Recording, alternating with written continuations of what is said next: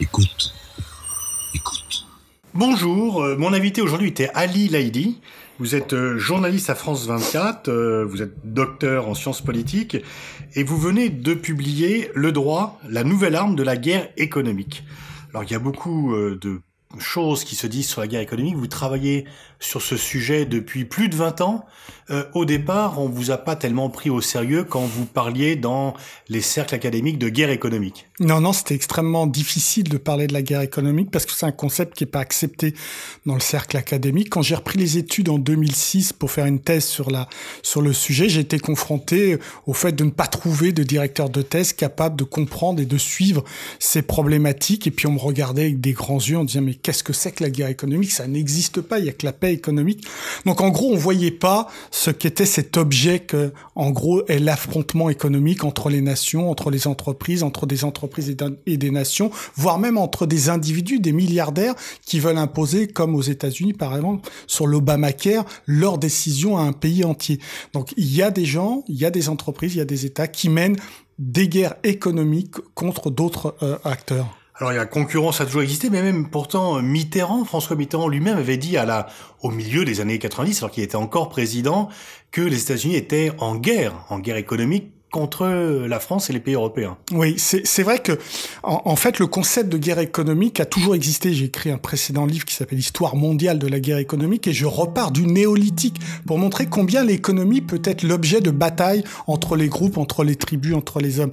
Mais le concept réapparaît à la fin des années 80, au moment de la chute du mur, et il réapparaît pas de manière innocente aux États-Unis, parce que les États-Unis comprennent à cette époque que leur priorité numéro un, c'est de défendre leurs intérêts économiques après avoir fait le job contre l'Union soviétique, et ils s'aperçoivent qu'en fait, les Japonais sont en train de leur grappiller leur leadership économique mondial. Donc ils essayent de comprendre, ils, commandent un, rapport à la CIA, et ce rapport va expliquer que les Japonais sont d'immenses guerriers économiques qui utilisent des doctrines d'intelligence économique qui leur permettent de pouvoir contester aux États-Unis la première place. Et c'est à ce moment-là que les Américains décident de reformater l'ensemble de leur administration pour la mettre au service de leurs intérêts économiques. Donc c'est aux États-Unis un très grand guerrier économique. Alors la lecture de votre livre fait un peu froid dans le dos, on est euh, saisi quand même par euh, l'ampleur de la force, euh, et notamment, et vous l'expliquez, en fait le droit est une armée. Dans l'esprit commun, le droit est fait pour servir la justice, pour défendre l'opprimé. Euh, et ce n'est pas tout à fait la vision que vous en montrez dans votre livre avec force démonstration. Et vous mettez que loin de cela, c'est plutôt servir les intérêts économiques des grandes puissances et en l'occurrence des États-Unis. Hmm.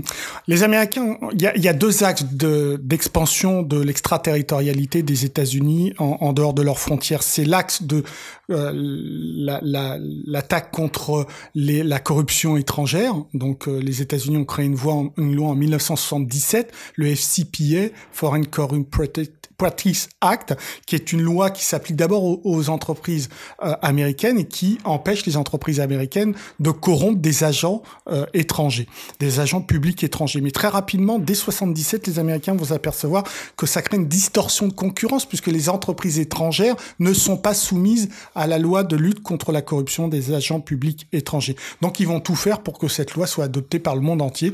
Ils y parviennent en 97 à travers la Convention de lutte contre la corruption. Mais euh, qui on pourrait dire que c'est plutôt positif de lutter contre la corruption. Ça l'est, tout à fait. Et c'est sur ce plan-là que les Américains euh, légitiment leur loi extraterritoriale. Mais si on prend uniquement ce plan-là, on peut alors, dans ces cas-là, s'étonner du fait que les Américains sont pas partie prenante à la, à la Cour pénale internationale. Si c'était vraiment ça qui motivait leurs actions à travers leur loi extraterritoriale. Mais ce n'est pas que ça. Donc FCPA, la loi qui lutte contre la corruption en 77, appliquée à partir de 97 à l'ensemble des pays de l'OCDE. Et puis deuxième axe euh, d'expansion des lois américaines, les, les, les lois qui sanctionnent les pays qui continuent à faire des affaires avec les pays que les États-Unis considèrent comme des rock states, donc des pays voyous, et qui sont sanctionnés par les États-Unis, avec qui une entreprise américaine ou toute autre entreprise dans le monde entier n'a pas le droit de faire du commerce. Il s'agit essentiellement en 96 de la loi Helms-Burton sur Cuba et toujours 96 de la loi D'Amato Kennedy sur l'Iran et la Libye. Et là, ces lois sont très claires. Elles interdisent à l'ensemble des entreprises du monde entier de faire du business avec ces pays-là. Et pourtant, et vous le montrez dans votre livre, à l'époque, l'Union européenne, euh, qui était d'ailleurs pas encore l'Union européenne, c'était mm. la CE, e, donc qui n'était pas une union mm. politique censée aller vers une défense commune, euh, avait réagi et a fait en sorte que ces lois extraterritoriales n'ont pas pu à l'époque s'appliquer. Alors, elle a réagi, elle a fait ce qu'il fallait faire au début, mais elle n'est pas allée au, au, bout de la démarche. La première chose qu'elle a fait, elle a déposé plainte au sein de l'OMC, l'Organisation mondiale du commerce. Et ça, c'était terrible pour les Américains, parce qu'ils ne pouvaient pas être les premiers à être condamnés par une institution qui portait leurs valeurs sur le libre-échange. Je rappelle que l'OMC venait prendre le relais du GATT. Donc, les Américains ont reculé. Mais le recul a été, euh, euh, en fait, un, un jeu de dupes, puisque les Américains, simplement, le président américain de l'époque, Bill Clinton, s'est engagé en son nom propre à ne pas utiliser le titre 3 de la loi Helms-Burton qui porte sur Cuba et il s'est engagé également à ce que le Congrès n'utilise pas ce titre 3 de la loi Helms-Burton pour poursuivre des entreprises européennes. Mal leur en ont pris, les, les Européens ont accepté ce deal et donc ont retiré leur plainte à l'OMC. Or, cette plainte aurait pu permettre au moins de clarifier euh, la légitimité des lois extraterritoriales américaines sur l'ensemble du business mondial. Donc l'erreur de la communauté européenne, c'est d'avoir retiré sa loi. La preuve, c'est qu'aujourd'hui, il y a encore quelques semaines, le président Trump a dit qu'il n'appliquerait plus le titre 3, c'est-à-dire qu'aujourd'hui, maintenant, des entreprises européennes qui font du commerce avec Cuba peuvent être poursuivis par les tribunaux américains. Donc il fallait pas compter que sur la parole d'un président. Alors, vous, vous le montrez, l'actualité le montre chaque jour. Là, on est à une tentative des Américains d'empêcher de commercer avec l'Iran, d'empêcher de commercer avec Cuba, de mettre des restrictions sur le Venezuela, peut-être demain d'autres pays comment expliquer que les pays européens qui avaient su réagir, même sans aller peut-être jusqu'au bout de la démarche en 96, euh, finalement semblent accepter la démarche américaine. Il y a bien sûr un véhicule spécial qui est créé, mais les grandes entreprises européennes quittent le marché iranien et devront peut-être demain quitter le marché cubain. Mmh. Voir le Venezuela, voir des sanctions sur la sur la Russie, etc., etc.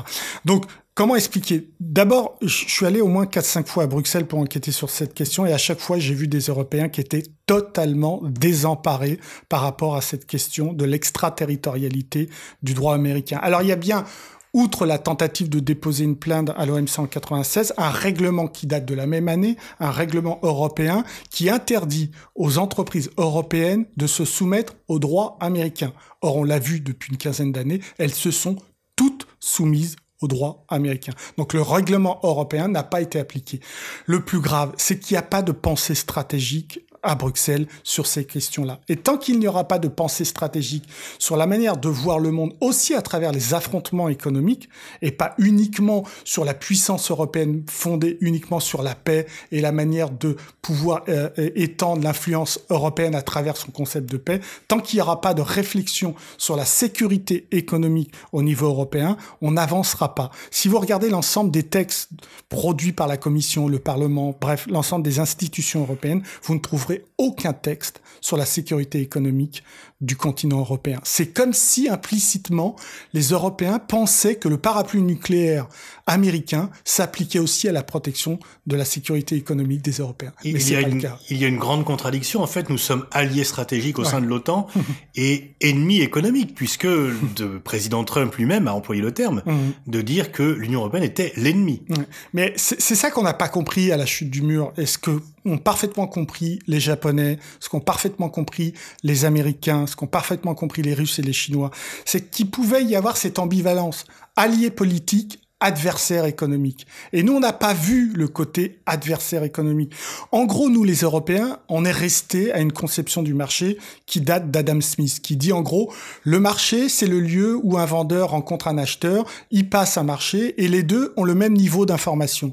Or, les Américains, eux, sont passés au deuxième, à la deuxième étape du marché, c'est-à-dire l'école néoclassique, l'école néolibérale qui dit mais non, pas du tout. Le marché, c'est absolument pas ça. C'est tout le contraire. Le marché, c'est le lieu de la concurrence. Et c'est celui qui possède la meilleure information qui remporte le marché. Donc, vous voyez qu'on n'est pas du tout dans la même approche. On est dans une approche euh, européenne assez bisounours et on est dans une approche anglo-saxonne assez guerrière en ce qui concerne l'économie. Alors, il y a un mécanisme que, vous démontez euh, parfaitement dans votre livre, c'est le, le, processus de judiciarisation de la vie économique. Donc le département de la justice aux États-Unis attaque une société euh, européenne, française.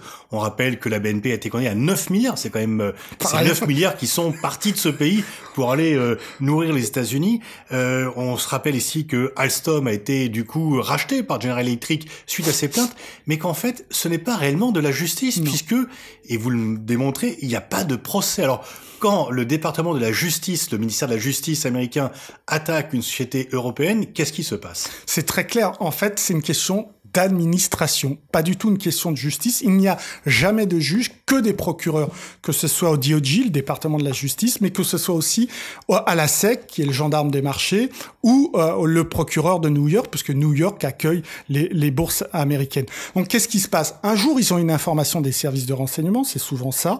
Ils appellent l'entreprise, ou plutôt ils envoient un courrier au président et au conseil d'administration de l'entreprise visée, et ils disent, nous avons des preuves que vous violez la, la loi américaine sur les sanctions ou alors sur la corruption.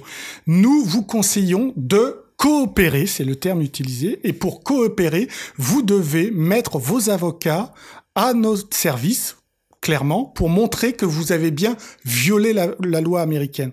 Et plus vous prouverez que vous avez violé la, loi américaine, moins l'amende sera élevée et plus vous pourrez euh, vous en sortir dans cette affaire. Et donc, à la fin seulement de ce deal, il y a un juge américain qui vient tamponner l'accord entre l'administration de la justice américaine et l'entreprise. À tel Mais il n'y a pas de procès. Il n'y a pas de procès. C'est ça que, nous, Européens, on a du mal, parce que pour nous, la justice, c'est un procès. Aux États-Unis, 95% des affaires, qu'elles soient économiques, criminelles, etc., ne passent pas devant un tribunal. Elles sont gérées directement entre le procureur, le juge et l'accusé. Donc c'est ça, c'est ce modèle-là qui veulent aussi importé en Europe. Ce que vous décrivez, sans vouloir être excessif, ça s'apparente plus à de l'extorsion de fonds que à une véritable justice basée sur la règle de droit. Alors c'est pas moi qui le dis, c'est le rapport Lelouch-Berger qui a été publié en 2015, donc deux parlementaires français qui ont enquêté sur la, la législation extraterritoriale américaine et qui parlent en effet d'extorsion de Pierre Lelouch que l'on peut pas qualifier d'anti-américain bah puisqu'il a été très longtemps considéré comme atlantiste. tout à fait. Mm. Et donc, il le dit lui-même. Il dit qu'à un moment donné, euh, l'explication que donnent les Américains à nos deux parlementaires français, c'est la suivante. Quelque part, vous, Européens, vous ne participez pas aux guerres que nous nous menons pour le bien. Alors, nous allons chercher l'argent là où il est, et notamment à travers vos entreprises. Donc oui, ça peut être assimilé à une sorte d'extorsion de fonds.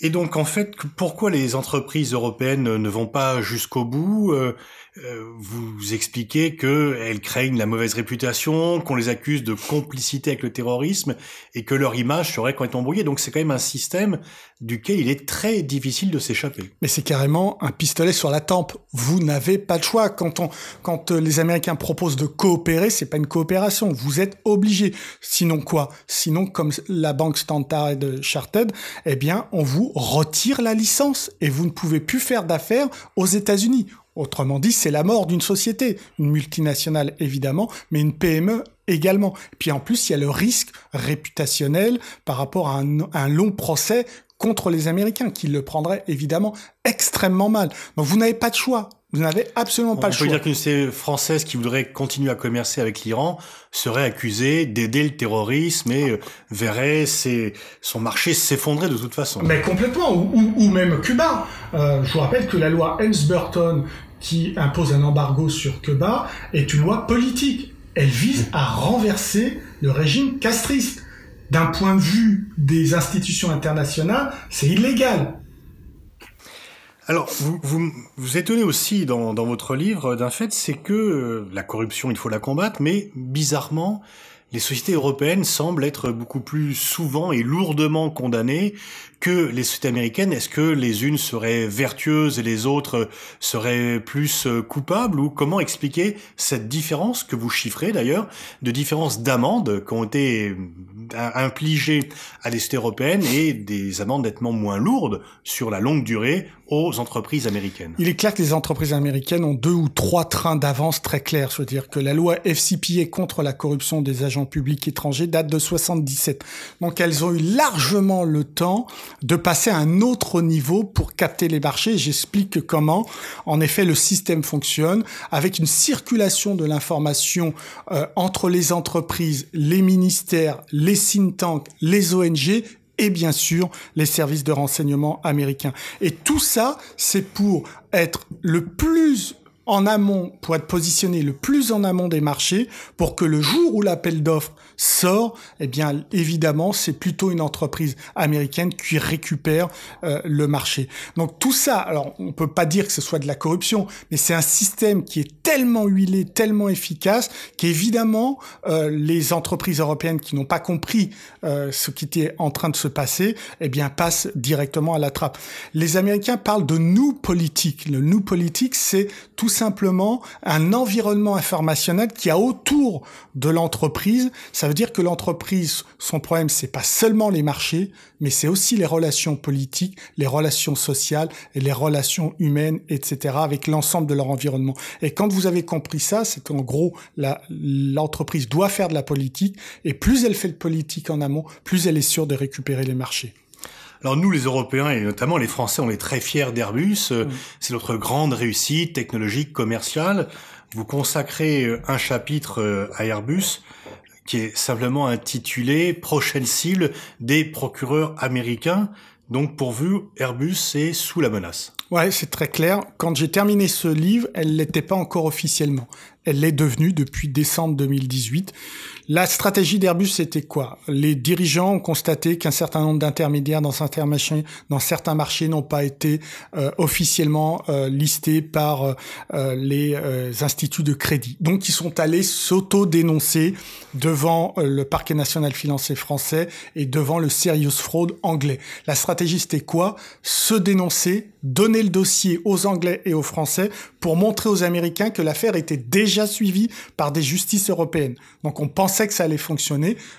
En décembre dernier, on a appris que non, que les Américains étaient partis aussi dans cette affaire et donc avaient mis Airbus sous enquête interne de la part du ministère de la Justice américaine. Et évidemment, quand le DOJ américain met sous enquête une entreprise multinationale comme Airbus, c'est clair qu'à la fin, ça sera pas en centaines de millions de dollars, ça va se monter en plusieurs milliards de dollars, tout comme la BNP.